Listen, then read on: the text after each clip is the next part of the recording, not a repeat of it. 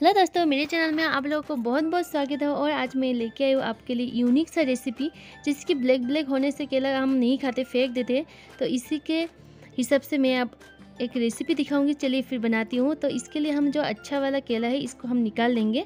और जो ये देखिए, ये सड़ा हुआ इसको नहीं लेना है, इसको हम फेंक देंगे। तो अच्छे वाला केला को हम अच्छे से निकाल लेती हूँ अभी एक एक करके। क्योंकि बच्चे भी नहीं खाते, अगर ब्लैक हो जाती है तो ऐसे बनाए हुए तो सभी खाएगी और खाने में भी इतना टेस्टी लगती है, बहुत ही टेस्टी लगती है। अभी मैं केला को सब ऐसे मिक्स करके अभी डाल दूँ दो कटोरी मतलब चावल का आटा। अभी डाल दूँ थोड़ा सा सूजी, थोड़ा सा नमक डाल दूँ अभी डाल दूँ शुगर एक कटोरी। अभी इसको पूरा मिक्स कर रही हूँ। आप स्वाद अनुसार मतलब सब चीज़ें डाल सकती हो। इसको अच्छे से ऐसे मिक्स कर रही हूँ। अभी थोड़ा सा मैं पानी डाल रही हूँ। पानी डाल के अच्छे से मिक्स कर लूँगी।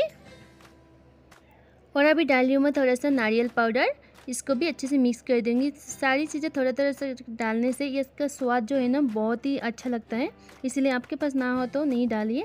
और थोड़ा सा पानी डाल रही हूँ। अभी पूरा मिक्स कर रही हूँ।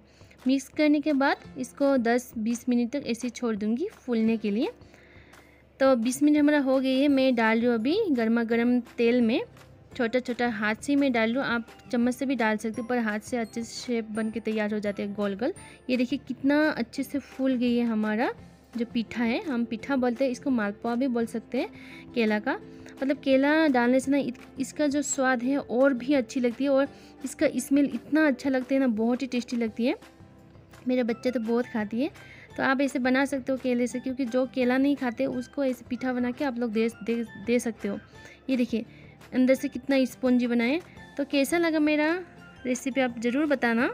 मेरी अगर मेरी रेसिपी को आप लोगों को अच्छी लगे तो प्लीज़ लाइक करना शेयर करना और सब्सक्राइब भी कर देना।